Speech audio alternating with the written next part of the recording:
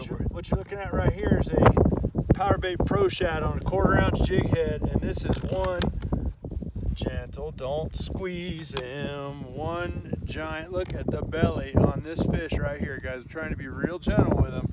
Look at the size of the belly and shoulders on that rainbow. How about them apples right there, guys?